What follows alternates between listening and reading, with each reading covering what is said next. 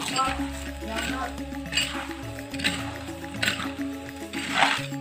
itu nek penangguran kopi gendine kayak wong ngobong gampang